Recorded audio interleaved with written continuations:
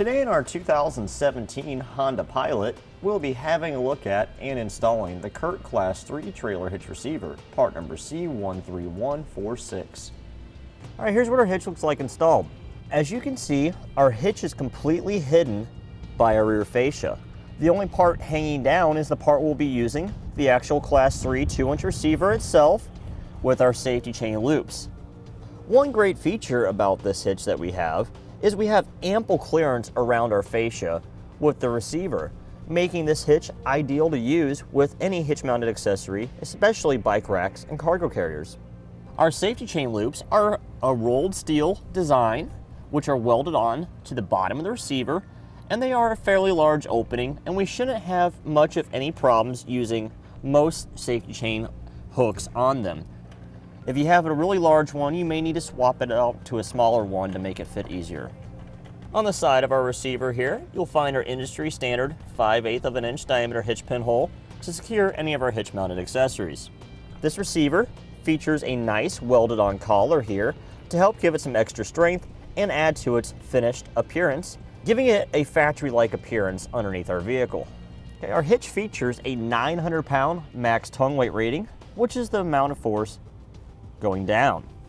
It also features a 6,000 pound max gross trailer weight rating, which is the amount it can pull.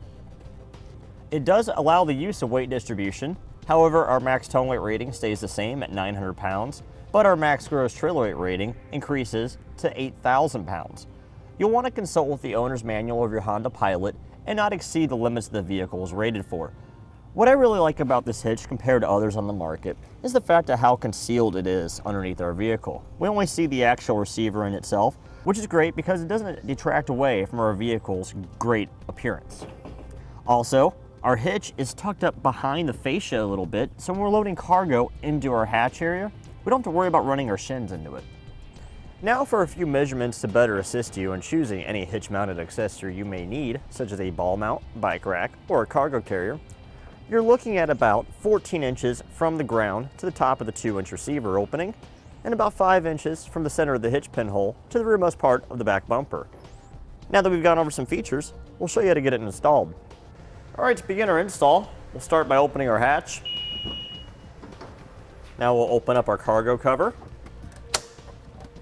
Now we'll gain access to our spare tire tools. They're off on the driver's side. Now right in the middle of our cargo area, We'll see our spare tire indicator here. We'll pry this open. Take out this rubber plug. We'll use our tire iron, small end, to go over that part. Then we'll use our hook, go into our tire iron, go counterclockwise, and we'll lower our spare tire and we'll get our spare tire out of the way.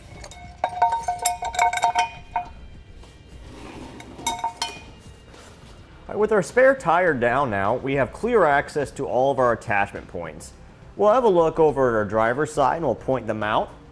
We have three weld nuts on our frame rail right at the bottom. Our passenger side is the exact same way, so whatever we do on the driver's side, we'll do the same on the passenger side.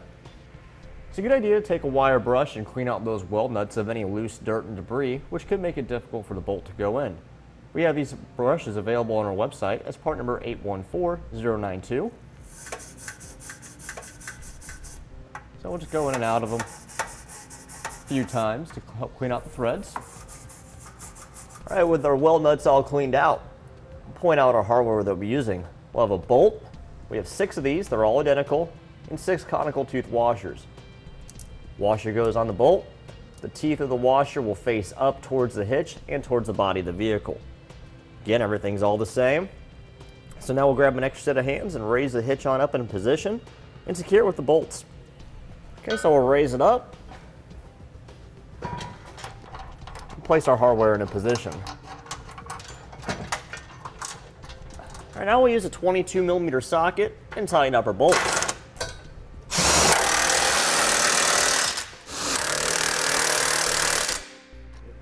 Okay, now we'll torque all of our hardware to the amount specified in the instructions.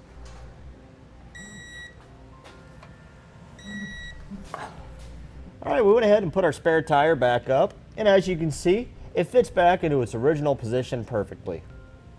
Now we'll put everything back the way it was originally.